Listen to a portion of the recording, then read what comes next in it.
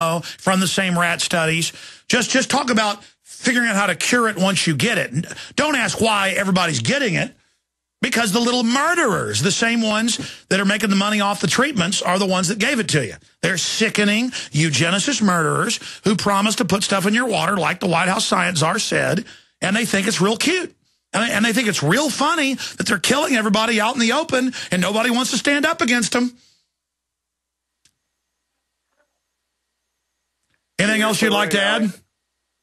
Uh, yeah, I also uh, bought a uh, atmospheric water generator so I can get myself off of the uh, the regular water supply. And uh, basically, you just plug it in the wall. It sucks water into it and produces high alkaline, uh, P- high pH water well, to uh, also battle cancer. Cancer beater, uh, why why don't you just trust the government and drink the tap water? I mean, we do have the highest rates of cancer. They must, they care. Are you an extremist? Because the white, other White House and Soros people, I have the article, are calling for shutting down the websites of conspiracy theorists, people that don't trust known certified liars. They're saying if you don't believe known certified liars, you should be arrested. What's wrong with that? Well, I don't trust them as far as you can throw them.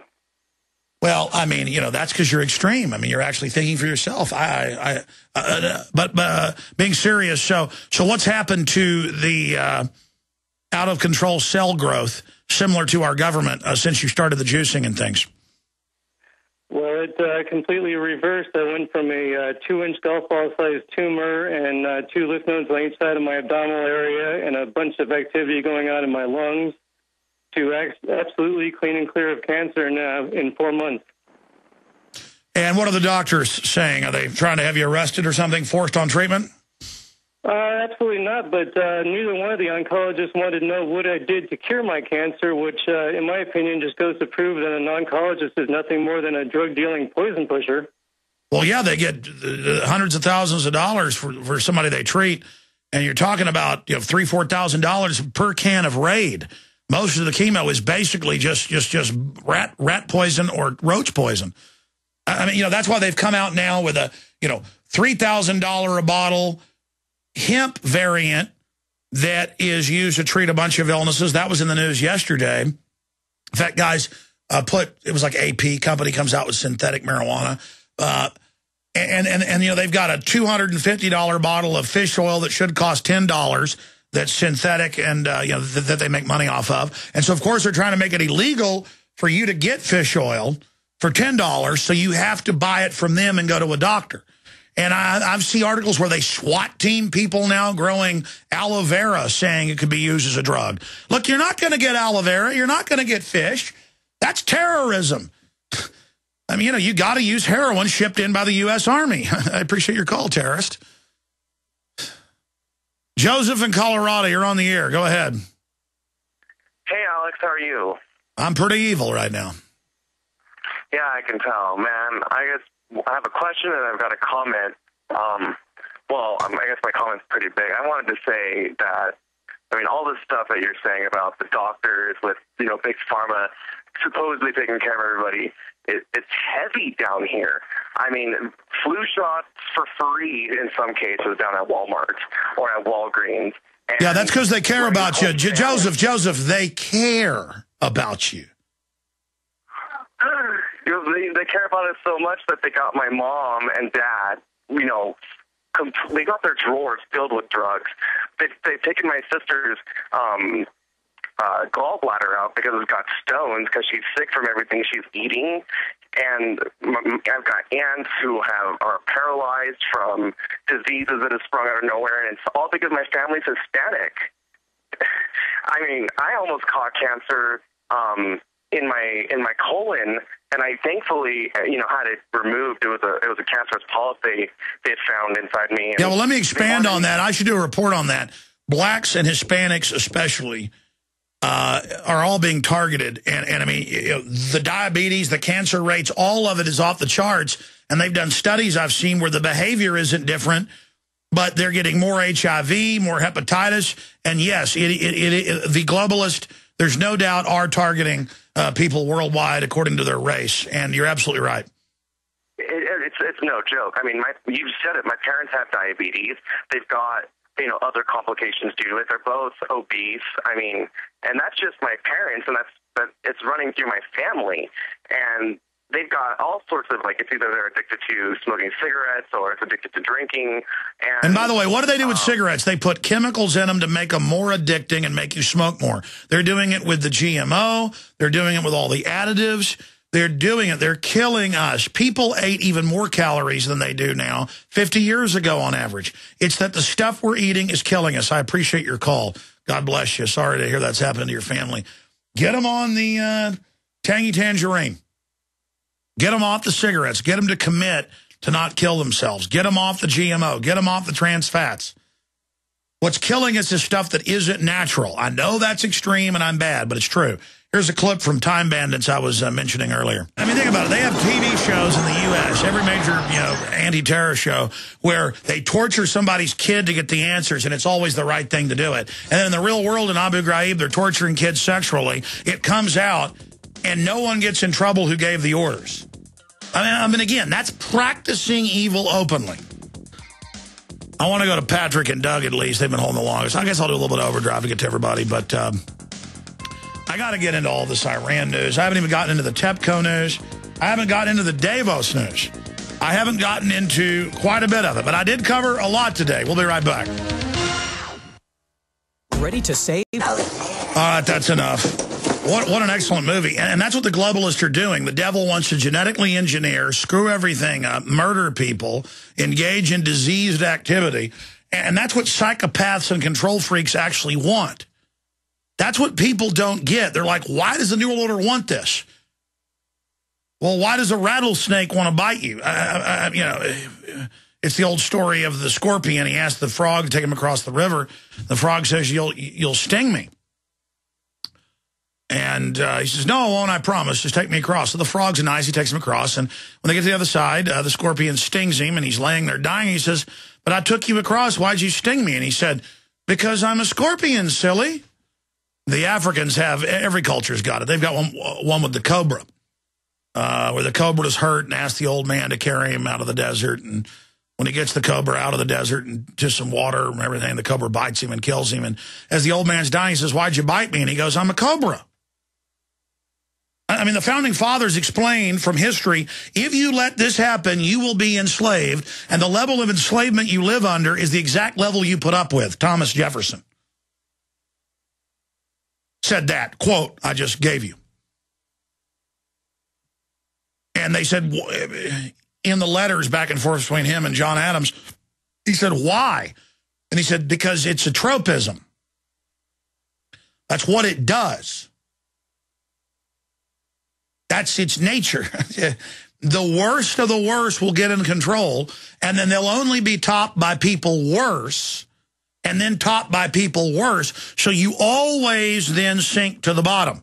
And I don't know how much I can explain this to people. It is a absolute certainty that when I went, this was already going on, but for me, when I went and saw the military training to go door to door in the U.S. and take our guns, it's all in Police State 2000, when I went and saw that, and then said, well, I better check our other drills. Hopefully it's not happening in other drills. And I went to all these other drills and confirmed and saw them working with Boy Scouts to spy on their parents in the drills.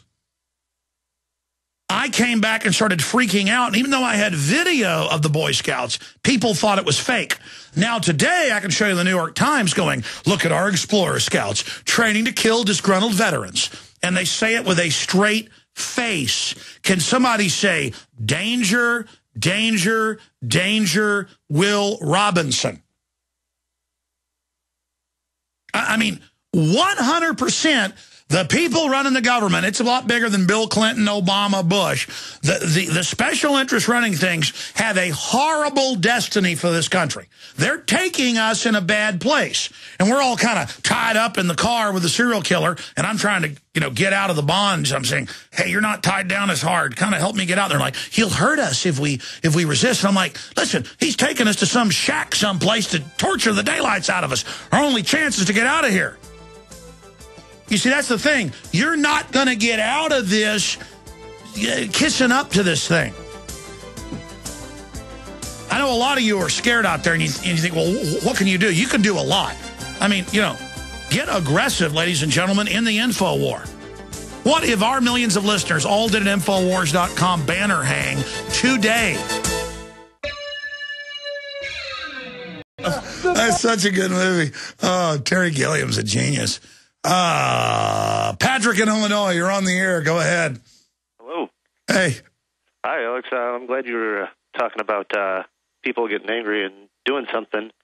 I like I like Mark Dice's model of calling into different radio stations, and uh, a frequent one I call is a guy named Norman Goldman. Uh, you like an establishment liberal kind of rag, and as soon as you mention Ron Paul or you mention any real issues, or that Obama's bought off by Wall Street, they'll just cut you right off. But I, I think it, it's a good thing to do. You know, call into liberal or any anybody radio shows and try and get something about the NDAA or that both parties are bought off, and uh, yeah, and just really keep hammering them like with with the phone mobs, and you may have to use a pseudonym every once in a while, but it's uh, I think it's a it's a good way to get some information out there. Uh, absolutely. I mean, we're talking about all this tyranny plugging websites, calling a talk radio, doing your own local show, getting your own access TV show, using every medium we can to warn people. Because folks, when they hear the truth now, jump on it. People are hungry for this information. Telling people about radio shows that are telling the truth. Getting the buzz going for Ron Paul even more.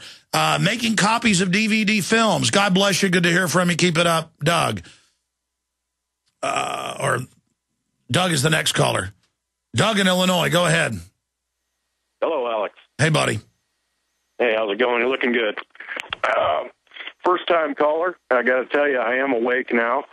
Um, I'm a subscriber to the Prison Planet. I've got uh, your stickers on my truck. And for quite some time, I guess you could say I was half asleep. And maybe I kept hitting the snooze button. But I'm fully awake now. And um, trying to wage the info war here in West Central Illinois. Well, we just had another call from Illinois, so there's a lot of folks. I get a lot of calls, a lot of support from Illinois. People certainly are waking up there because they're living under such a nasty form of bureaucratic tyranny. Yeah, yeah, crooked, crooked uh, tyranny.